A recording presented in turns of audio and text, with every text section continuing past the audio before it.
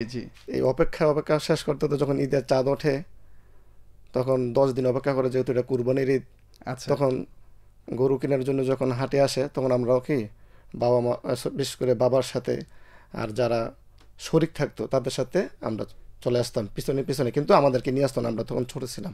আচ্ছা। তো এখন আসা গরু কেনার পর আবার গরু কিনে ওই গরুর পিছনে আবার কি দৌড়ে দৌড়ে চলে যেতাম। আসলে এটা মজাই ছিল অন্য অন্যরকম। হুম হুম হুম। এই মজা এখন আর তেমন একটা পাওয়া যায় না। আসলে কি?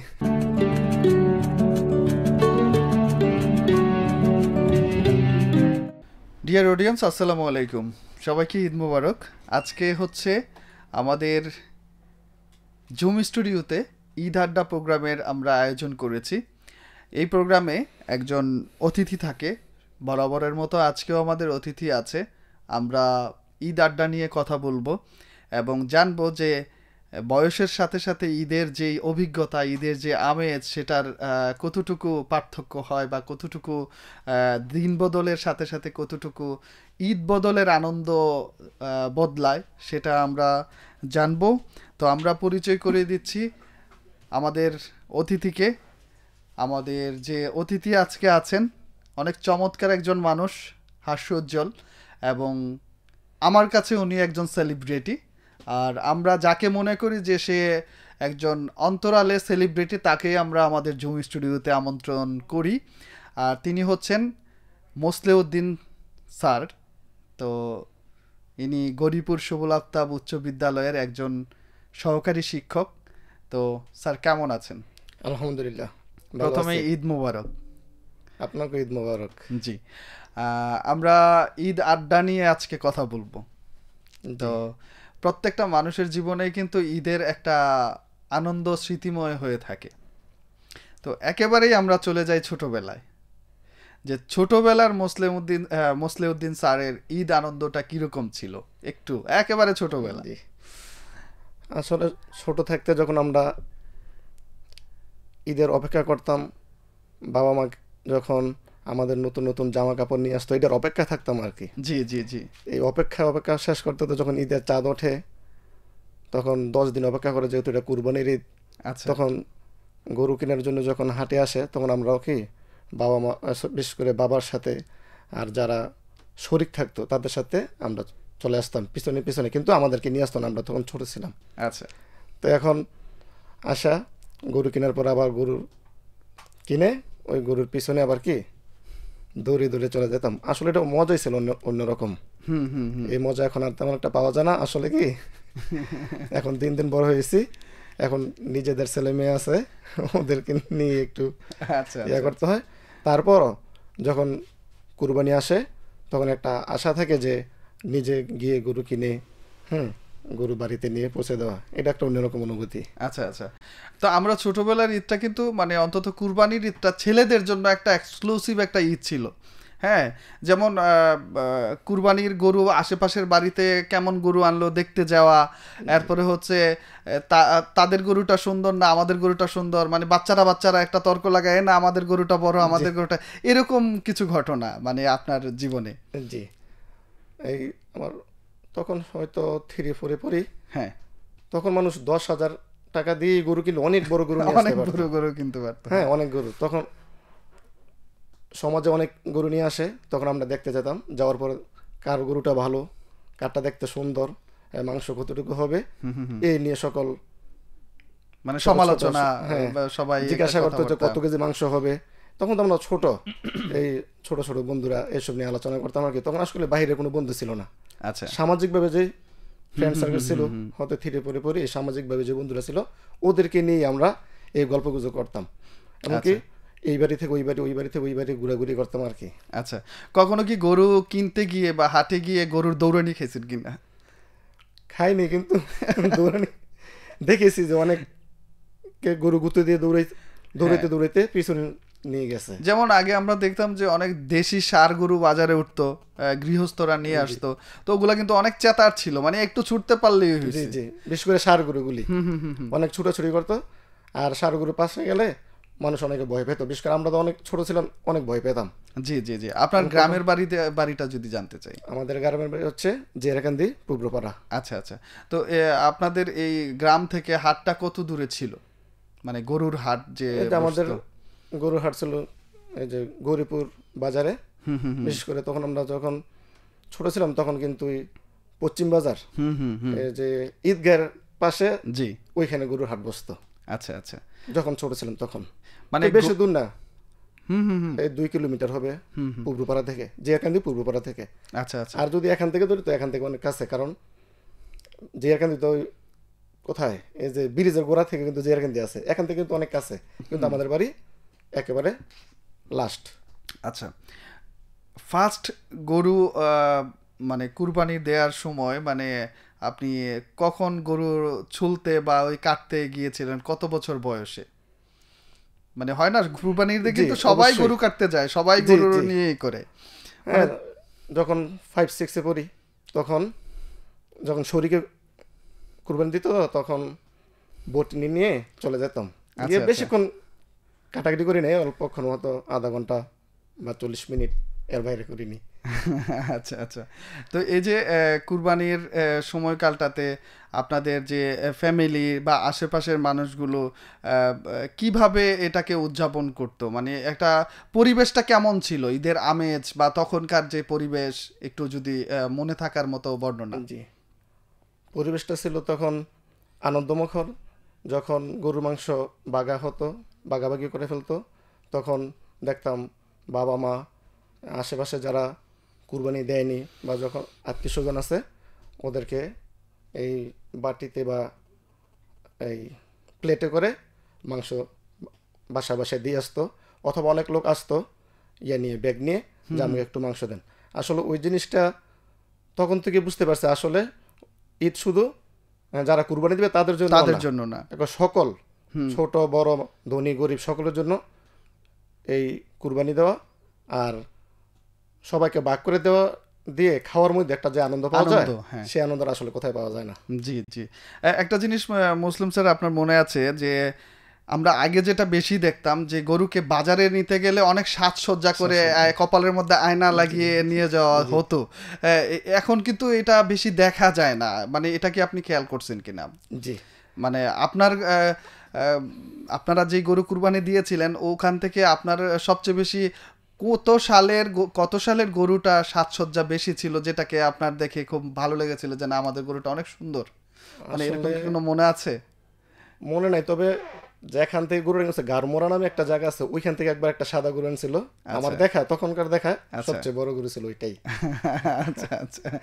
তো এই যে আমাদের কুরবানিটা কুরবানিটা কিন্তু আমাদের মুসলিম জাতির জন্য আমরা ত্যাগ বলে মনে করি।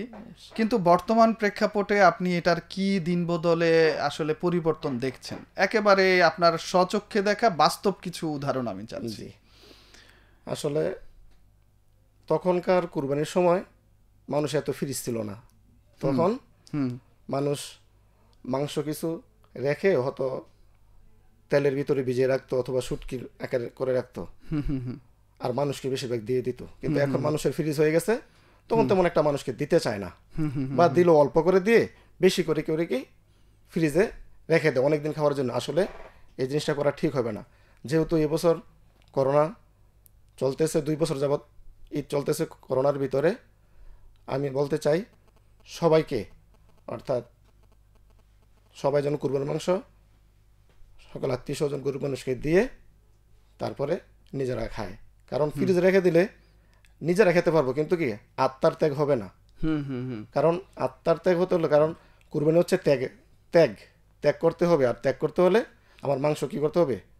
সবাইকে বিলিয়ে খেতে হবে। এবং মুসলিম শরিয়া মোতাবেক কিন্তু একটা নিয়ম আছে। হ্যাঁ, কত ভাগ আমি রাখব কত ভাগ আসলে গরিবদের মাঝে বিলিয়ে দেব। আসলে এটা তিন ভাগ বলি এখন মাঝে মধ্যে বলা হয় কি কয়- মাঝে মধ্যে বলা হয় যে নাকি এটা সবাই এক না দিয়েও নাকি খাওয়া যায়। আসলে এটা কতটুকু সত্য এটা এখনও আমার দ্বারা আচ্ছা আচ্ছা। সম্ভব আমরা এই প্রেক্ষাপটে যদি মুসলিম স্যার আরেকটা বিষয় নিয়ে কথা বলি সেটা হচ্ছে মুসলিম স্যার এক লাখ টাকা দিয়ে গরু কিনছে আমি হচ্ছে দেড় লাখ টাকা তো কিনতে হবে বা দু লাখ টাকা কিনতে হবে কারণ না হয়তো মুসলিম স্যার হচ্ছে আমি বড় কীভাবে হলাম? এই বিষয়টা আপনার কাছে কতটুকু দৃষ্টিগোচর আসলে? এটা শরিয়ার মতো হবে না কারণ গরুর দাম নিয়ে বা তার চেয়ে বেশি দামে গরু কুরবানি দিতে হবে এটা ইসলামী দৃষ্টিতে ঠিক না। জি। মূলত গরু ছোট হোক আর বড় হোক দাম কম বেশি হোক মূলত এখানে হচ্ছে তার আত্মার ত্যাগ এটা কাউকে বলা যাবে না যে এখানে মাংস এতটুকু হবে মাংসর কেজির দর এত হবে ওর গরুটা ভালো হয়েছে মাংস বেশি হবে এসব বলা যাবে না। অর্থাৎ গরু নিয়ে দামাদামি করা যাবে না। ওটা দেখে ও দু লক্ষ টাকা কিনেছে আমি পাঁচ লক্ষ টাকা কিনেছি এসব বলা যাবে না। অর্থাৎ ইসলামী দৃষ্টিতে এটা ঠিক হবে না। জি। আপনার তো অনেক ছাত্রছাত্রী রয়েছে। তো তারা কিন্তু হচ্ছে আগামীর প্রজন্ম তারা আপনারা তাদেরকে গড়ে তুলছেন। তো আপনার একটা কথা কিন্তু তাদের কাছে অতি মূল্যবান। তো এই কুরবানি তারাও কিন্তু একজন একদিন দায়িত্ব নেবে। এখন বাবা মা দিচ্ছে বা এখন ফ্যামিলির গার্ডিয়ানরা দিচ্ছে একদিন কিন্তু তারাও দিবে। তো আপনাকে যারা ভালোবাসে আপনাকে যারা শ্রদ্ধা করে তাদের জন্য আপনি একেবারে সহজভাবে কুরবানির বর্ণনাটা কীভাবে হওয়া উচিত যদি বিশ্লেষণ করেন? জি যখন আমার শিক্ষার্থীরা বড় হবে নিয়ে নিজ দায়িত্ব যখন কুরবানি দেবে, তখন আমি আমার শিক্ষার্থীদের উদ্দেশ্যে বলতেছি, তোমরা যখন কুরবানি দিবে, মন থেকে, মনকে ফ্রেশ করে ত্যাগের মাধ্যমে কুরবানি দেওয়ার চেষ্টা করবে। তোমার দেখবে তোমার আশেপাশে কে কুরবানি দেয়নি, যারা দেয়নি তাদের খোঁজখবর দিবে, নিয়ে তাদেরকে মাংস বাসায় দিয়ে আসবে। আর যারা গরিব এখানে কিন্তু দুই শ্রেণি আছে একটা আছে আত্মীয় হয়তো পয়সা ছিল কোনো কারণে বিশেষ করে যেমন এবারের করোনায়। করোনায় হ্যাঁ। অনেকের চাকরি কুরবানি দিতে পারেনি। কুরবানি দিতে পারবে না।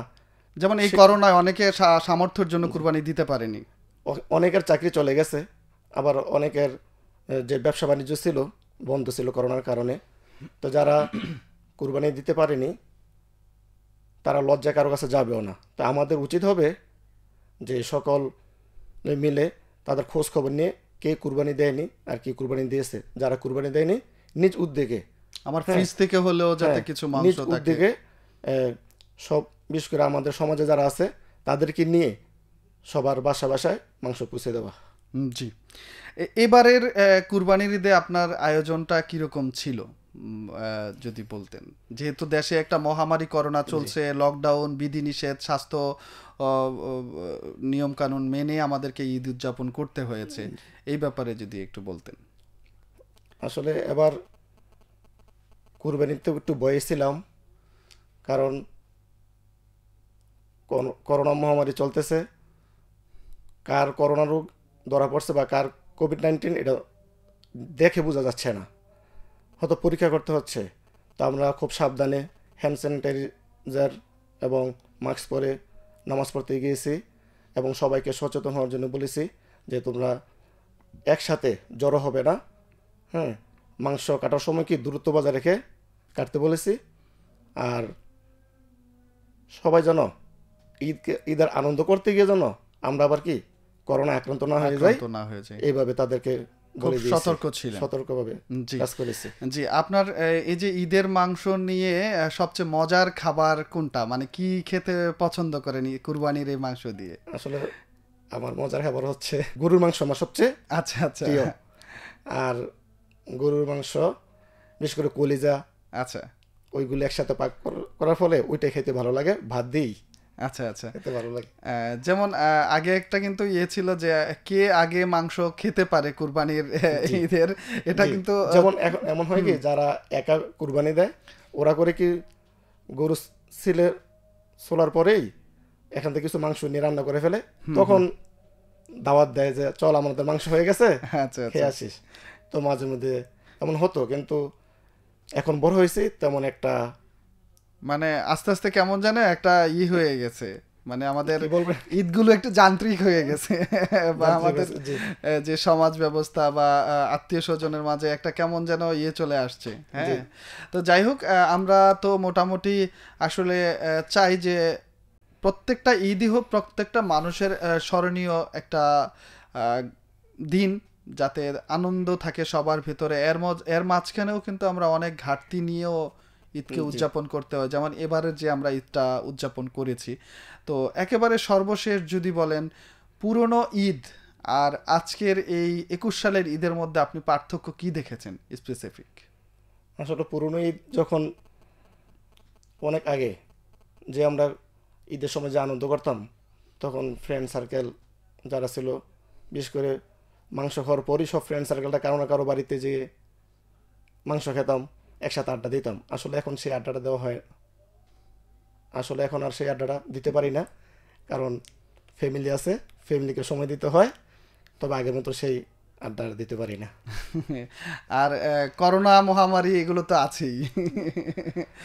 জি। অবশ্যই কর- কারণ করোনার কারণে বাসা থেকে কমই বাহির হই তবে বিকেলবেলা নামাজ পড়তে গিয়ে একটু ফ্রেন্ড বিশেষ করে এখন তো আমরা বন্ধু বলতে এখন টিচারদের সাথে আমি একটু আড্ডা দিই। যেমন আমাদের যে ইয়ং কিছু টিচার আছে হ্যাঁ আমরা পাশাপাশি বাসায় থাকি তখন বিকেলবেলা টিচারদের সাথে আমি আড্ডা দিই বন্ধুর মতনই।